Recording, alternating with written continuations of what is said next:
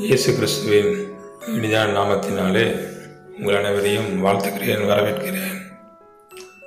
இன்றைய நாளிலே நாம் சிந்திக்கும்படியாக எடுத்துக்கொள்ளப்பட்ட தலைப்பு சத்துருக்களா? இதற்கு ஆதாரமாக லேவிய ராகமம் இருபத்தி ஆறாம் அதிகாரம் ஏழாம் வசனத்தை வாசிக்கிறேன்.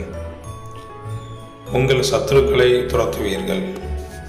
அவர்கள் உங்கள் முன்பாக பட்டயத்தால் விழுவார்கள். உங்களை காரணமில்லாமல் பயக்கிறவர்களும் அநியாயமாய் உங்களுக்கு விரோதமாய் எழும்புகிற சத்துருக்களும் ஏராளம் உண்டு. இந்த உலகத்தில் பொறாமை இருக்கிற வரையிலும் பொறாமையை ஜனங்கள் உள்ளத்திலே ஊட்டுகிற சாத்தான் இருக்கிற வரையிலும் சத்துருக்கள் எழும்பிக் கொண்டுதான் இருப்பார்கள். இஸ்ரேல் ஜனங்களை கனான் தேசத்திற்குள் கர்த்தர் அழைத்து கொண்டு வந்தபோது அங்கே அவர்களுக்கு சத்துருக்களாக ஏழு ஜாதிகளும் முப்பத்தி ஓரு ராஜாக்களும் இருந்தார்கள். அங்குள்ள பட்டணங்கள் அர்ணிப்பான பட்டணங்கள். அங்கிருந்த ஜனங்கள் ராட்சத பிறவிகள். ஆனால் கர்த்தர் அவர்களுக்கு கொடுத்த வாக்குதத்தம் என்ன? உங்கள் சத்துருக்களை துரத்துவீர்கள். அவர்கள் உங்கள் முன்பாக பட்டயத்தால் விழுவார்கள். உங்களில் ஐந்து பேர் நூறு பேரை துரத்துவார்கள்.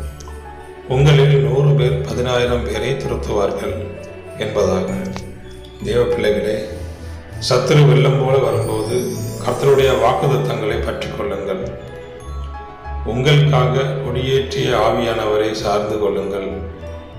அப்பொழுது ஒரு வழியாய் உங்களுக்கு விரோதமாய் வருகிறவர்கள் ஏழு வழியாய் உங்களை விட்டு ஓடி போவார்கள் ஒருவனும் எதிர்த்து நிற்க முடியாதபடி கர்த்தர் உங்களை நிரப்புவார். பழைய ஏற்பாட்டு இஸ்ரேலருக்கு உலக பிரகாரம் பிரகாரமான சத்துருக்கள் இருந்தார்கள்.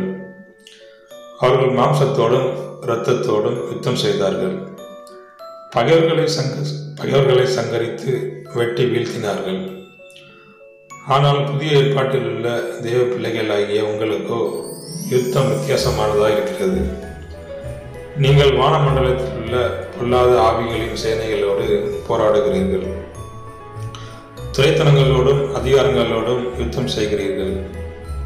எந்த மனிதன் உங்களுக்கு சத்ருவாய் எழும்பி வந்தாலும் அவனுக்கு விரோதமாய் நீங்கள் யுத்தம் செய்யாமல் அவனுக்கு பின்னால் இருந்து அவனை தூண்டிவிடுகிற பல வகையான ஆவிகளோடு நீங்கள் யுத்தம் செய்ய வேண்டியதாக இருக்கிறது. சாத்தானுடைய நோக்கமே திருடுவதுதான். திருடன் திருடவும் கொல்லவும் அழிக்கவும் வருகிறானே அன்றி வேறொன்றுக்கும் வரான்.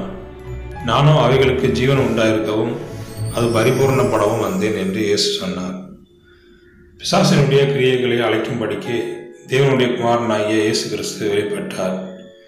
தேவ பிள்ளைகளே எத்தனை ஆயிரம் சத்துருக்கள் உங்களை எதிர்த்து வந்தாலும் கலங்காதிருங்கள்.